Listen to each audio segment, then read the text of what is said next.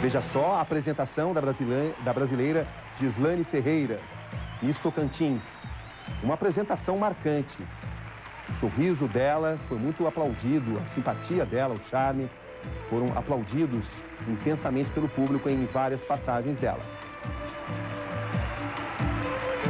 E ela passa entre as 15 mais bonitas do mundo, a primeira eliminatória.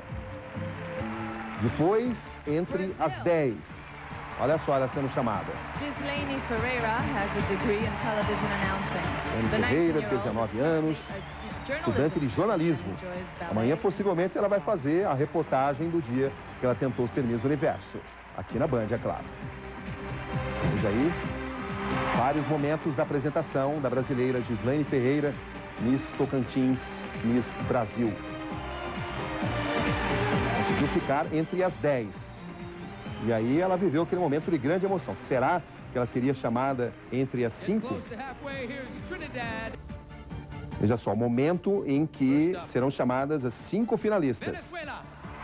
Miss Venezuela, a primeira. Japão. South Africa. África do Sul. Dominican Republic. República Dominicana. Finally in the top five, Serbia and Montenegro. Sérvia e Montenegro, ou seja, não deu para Miss Brasil. Gislaine Ferreira. Muita gente achava que ela ficaria entre as cinco, mas isso não aconteceu. Chega então o momento daquelas entrevistas em que e finalmente é escolhida a Miss Universo. Amélia Vega, Miss República Dominicana, uma estudante de 18 anos, foi escolhida a nova Miss Universo. Aí está a nova Miss Universo.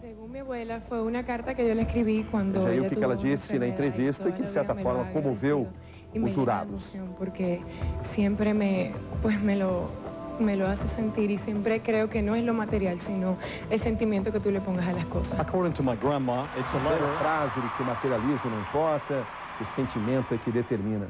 Ela deve ter treinado isso há muito tempo. Mas, de qualquer forma, funcionou e ela é a nova Miss Universo, é claro.